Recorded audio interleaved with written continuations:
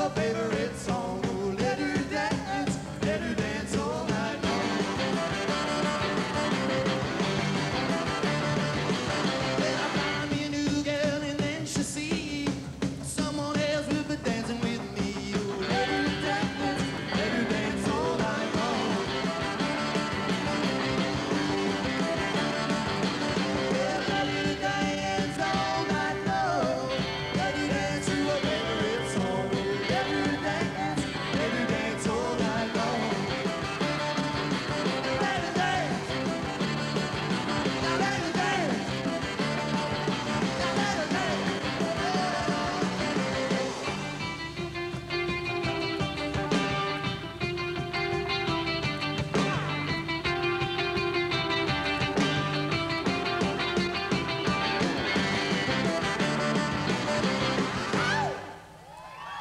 When WAAF's radio vision continues,